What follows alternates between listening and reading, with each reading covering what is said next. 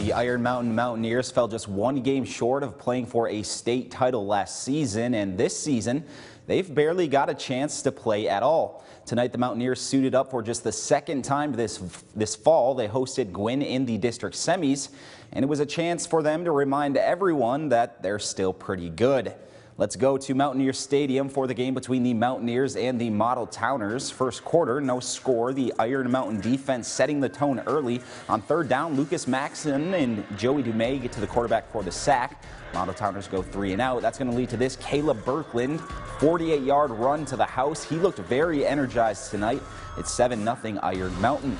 Later, Eli Lofholm under center for the Mountaineers. He's going to hand it to Berkland, and once again, he's going to break a tackle, throw a stiff arm, and he scampers into the end zone. It's 13 zip Mountaineers.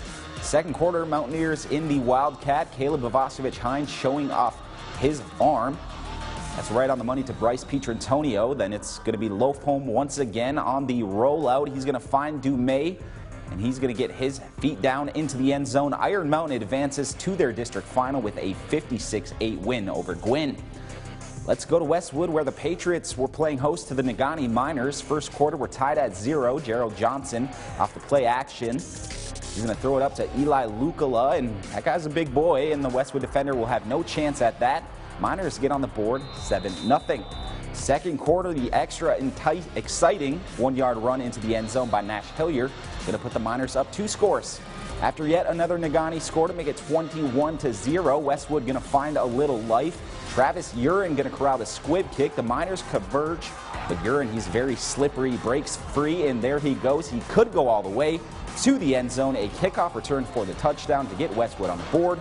But it's Negaunee who will move on to the district final, defeating the Pats 42-14. They're going to play Calumet next week in the district finals. The Calumet Copper Kings, they go to Menominee tonight and leave with a 29-14 victory. In a very epic ending to the game between Sault Ste. Marie and Ludington, the Blue Devils winning it at the buzzer when Jacob Davey going to find Callan Campbell in the back of the end zone as the clock hits zero. And in eight-player footballs, Cedarville edges Rapid River tonight 28 to 20. We have one high school volleyball score for you. Manistique wins the district championship in th or three sets to one, excuse me, over